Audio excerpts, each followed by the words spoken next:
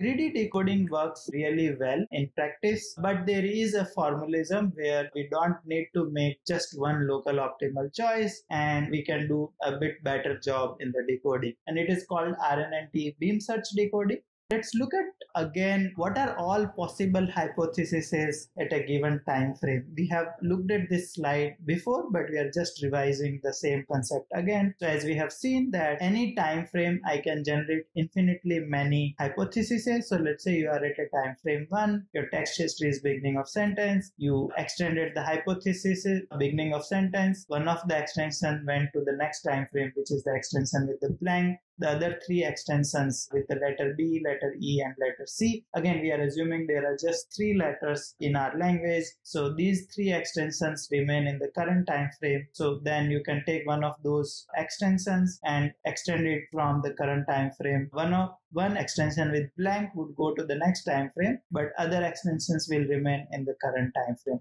So here you can see that you can generate infinitely many hypotheses at t is equal to 1 during the decoding. In the greedy decoding, we made a local optimal choice to kind of get out of this infinite loop, but we will now look at a beam search decoding where we can make some better choices. So as I said, we don't want to stay in time frame t forever, but we do not know when to move to t plus 1 as there are infinitely many candidates that can be explored in the time frame t. So what beam search allows us to do is that make a choice which is better than the local optimal choice, but still be in a some computational time bound so that we can finish the decoding. So the goal of beam search is we would like to obtain n candidate hypotheses at a time frame t plus 1 before exiting to decode at t, which would be better than all future extensions at t that could go to t plus 1. So you remember that at any time frame index, you have some hypotheses which were extended with the blank and had gone to the next time frame. So let's say you are at a time frame t. There are some hypotheses which are already in the time frame t plus 1. What you want to do in beam search is guarantee that there are at least n candidates in the next time frame which are going to be continue to be better than all future extensions which you can do at the current time frame and where n is a hyperparameter. It will become more clear but that is the basic idea. Let's look at a concrete example to understand beam search decoding in more detail. So let's say you have an audio which has four audio frames in it and we want to decode this audio.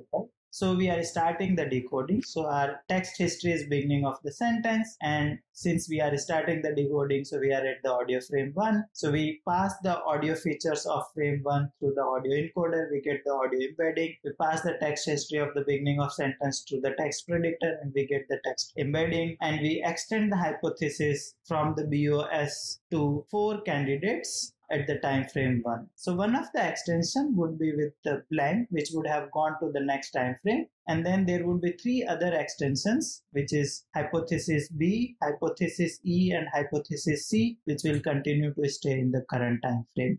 So we just have one candidate in the next time frame and our beam size is 3 so value of n is 3 so we cannot yet finish the decoding at this current time frame right? So because we want at least 3 candidates in the next time frame given the beam size is 3 to meet the first condition of the beam search so we take the best hypothesis from the hypothesis candidates at the current time frame. So let's say the best hypothesis is hypothesis B and we extend it. One of the extension B blank would have gone to the next time frame and other three extensions would be in the current time frame. So now I have two hypotheses which are in the next time frame b blank and blank. And i have five hypotheses which are in the current time frame. And i want at least three hypotheses in the next time frame to meet the beam search criteria. So i can say that my uh, decoding at the current time frame has not yet finished so I take the best hypothesis among my five candidates in the current time frame. And let's say the best hypothesis is hypothesis C and I extend this hypothesis. One of the extension would be C blank, which would have gone to the next time frame. And then I would have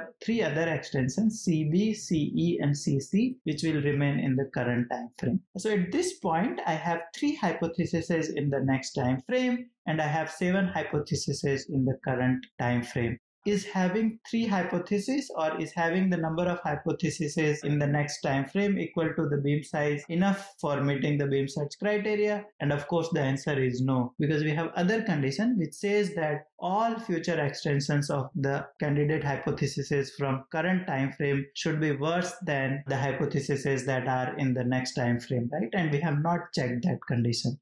We have said that having n hypotheses in next time frame is not enough to meet the beam search criteria. And let's see why that could be the case. So let's say the best hypothesis among the candidates in the previous step of the decoding was BE. And if we had extended that hypothesis, we would get a BE blank, BEB, BEE, and BEC. And BE blank would have gone to the next time frame. And let's assume that the probability of BE blank is greater than C blank. And this is where the beam search condition is violated because if we had continued to extend the hypothesis from current time frame, one of the extension BE blank had become a better than the hypotheses that we already had in the next time frame. And hence we could not have finished the beam search by just having three candidates or the number of candidates equal to beam search in the next time frame. And let's look this into more detail. Let's continue the decoding from this point and let's say that the best hypothesis at this point, all extension is BEB. So this is my best hypothesis and let's compare it with the nth best hypothesis in the next time. So let's say the nth best hypothesis in the next time frame is C blank. So we are comparing the probability of the best hypothesis in the current time frame, which is BEB, with the probability of the nth best hypothesis in the next time frame. And if the probability of the nth best hypothesis in the next time frame is better than the best probability in the current time frame, then we can exit the beam search and start the the decoding in the next time frame. And why that is the case? Because C blank has a higher probability than BEB and BEB has higher probability than all other candidates at the current time frame. Now, if I extend BEB, the probability of extended hypothesis is going to be less than the probability of BEB because you are multiplying by value less than 1 whenever you are extending the hypothesis. So all the future extensions are going to have less probability than BEB and all the current extensions has equal to or less probability than BEB we can say that if C blank has higher probability than BEB hypothesis, then all the future extensions which could happen from the current time frame are going to have less probability than C blank. Since that is the case, we can exit the beam search as time t and go to the next time frame t plus 1. If this did not meet the condition, then we will take the best hypothesis from the current time frame, extend it and check the condition again in the next step of the decoding. What we have seen so far is that by using the beam search criterion, we can exit the decoding at any audio frame T. Let's say at the test time, the audio had capital T audio frames in it. The way the beam search algorithm would work is following. We would start the decoding at time frame 1. We would continue to decode at time frame 1 until the beam search criterion is met. And then we would go to time frame 2. We would do the decoding at time frame 2 until the beam search criterion is met for time frame 2 and so on until we finish the decoding at time frame capital T. Once we have done that, we would have finished decoding all audio frames of the audio and then we can say that the best hypothesis among the hypotheses that has come out of the time frame capital T would be the transcript of the audio. With this, we conclude the beam search algorithm. Overall algorithm in its pseudo code form is written in this slide. This is from Alex Graves RNNT paper. There is one detail which I had not gotten into is about computation of prefix completion probability. There is a supplemental slide which you can look at to see more about it. But otherwise, this was the way to decode test audio without making local optimal choices.